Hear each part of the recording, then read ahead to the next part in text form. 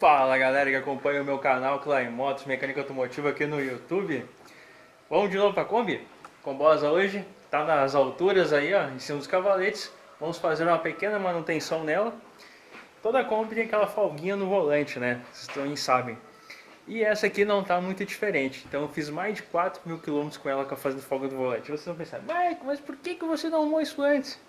Galera, eu tinha prioridades e prazos né Prioridades era fazê-la funcionar com segurança para vir aqui. Prazo não tinha, prazo curto demais. Então, agora está tudo cegado, a gente chegou na casa nova, tudo certinho.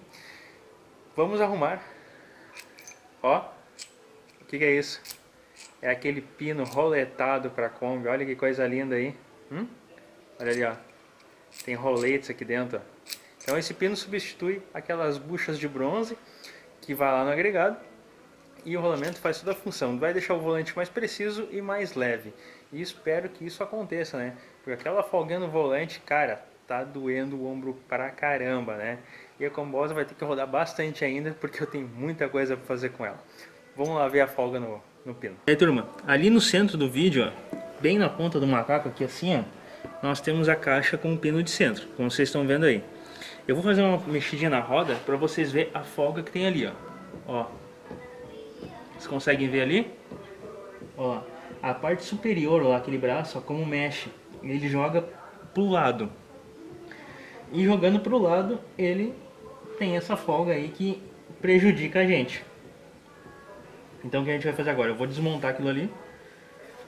Arrancar as buchas lá de dentro. Tirar o pino fora e substituir pelo pino roletado que nós compramos aí. Então, turma, tá aqui ó, já está removido o pino, né? Esse aqui é o pino antigo. Vocês estão vendo aí? Ele é um pino cônico aqui, né? Onde tem as duas bacias também cônicas. O foco, hein? Ó. Duas bacias também cônicas, né? E as porcas estão aqui. Ó, aqui, foco, foco, foco, foco. Ali, ó. Tá vendo, ó? A porca é cônica.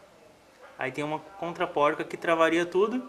E aqui, ó, o pessoal já, como vocês podem ver aí, já soldou ali, ó, pra tentar achar um meio de travar. É um sistema ajustável, só que é um sistema ajustável ruim. Por que ruim? Porque ele trabalha por arrasto. Vamos focar aqui, focou, ó. Porca cônica, cuba cônica, e ela trabalha aqui, ó, por arrasto tecnicamente tiraria a folga, mas o arrasto, o quanto vai deixar a direção pesada, é enorme, né?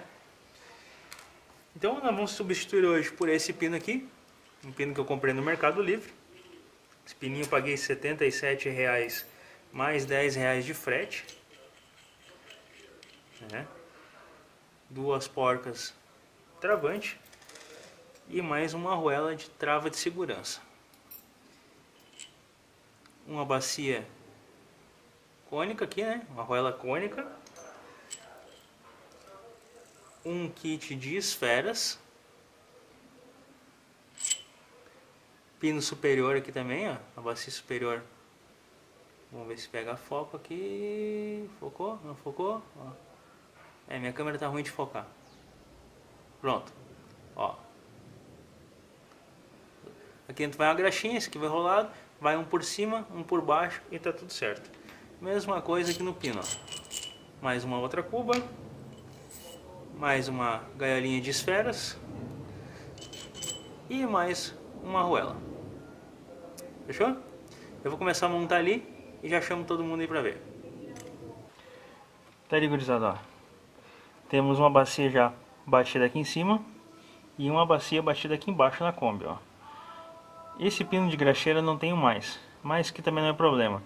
Eu comprei esse kit pino aqui, ajustável com rolete, o mais barato possível que eu achei no Mercado Livre, porque o dia que eu parar para restaurar essa Kombi como deve, né, todo esse agregado aqui, ó, eu vou tirar fora e vou mexer nele bastante. Inclusive essa parte aqui, essa gaiolinha, deixa eu tentar melhorar a claridade, que essa gaiolinha aqui, ó, ela é soldada aqui, aqui embaixo e em cima. Eu vou arrancar fora e botar outra, porque ela tem aqui uma folguinha ó, na própria gaiola.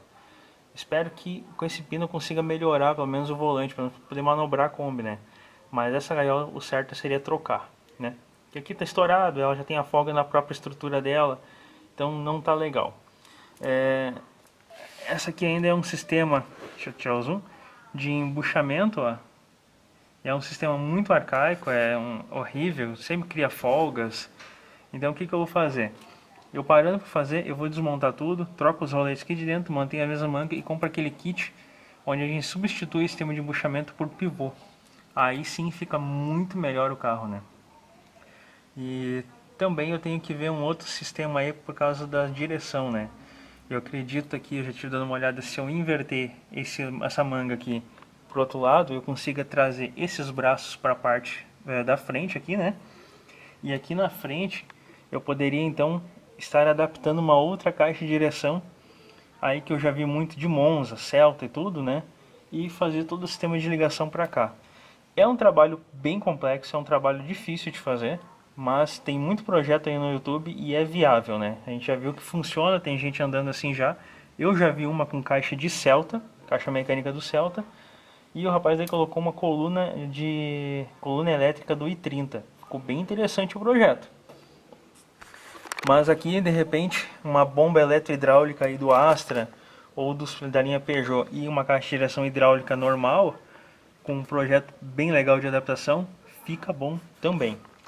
Mas vamos lá, o nosso intuito aqui hoje agora é botar uma graxa aqui aqui, sentar as gaiolinhas, passar o pino aqui para cá, ajustar ele, montar e testar ali a folga no volante e ver como é que vai ficar. Então galera, tá aí ó, pino já instalado, tá? Como é que vem? Vem pino, roela, rolete, bacia. Bacia, rolete, roela, porca, trava de porca e contra porca. Se ajustou, que ela fica firme, ó. Você mexe com a mão, ó. Facinho, não tem mais folga aqui. Tá vendo ali?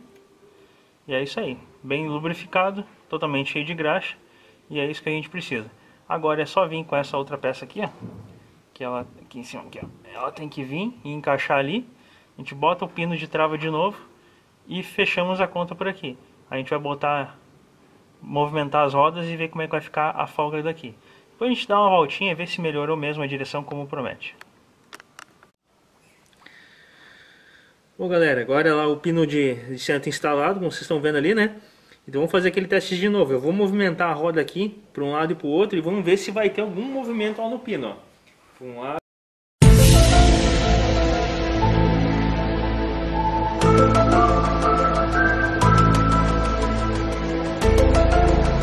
aqui pino, o outro ali, ó. vamos ver, olha lá. Movimento zero. A única folga que eu ainda tenho aqui é do embuchamento, mas isso aí eu vou trocar logo mais. Mas a nossa direção com certeza vai ficar muito mais precisa agora depois disso aí. E já deu para sentir que ficou bem mais leve. Então, mais uma etapa aí da combosa concluída com sucesso.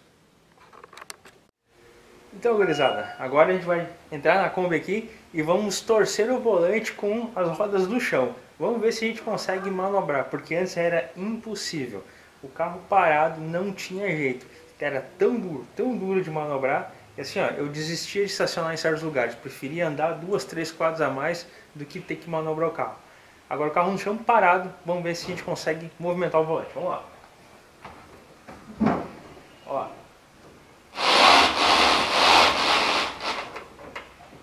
Esterçou tudo para um lado.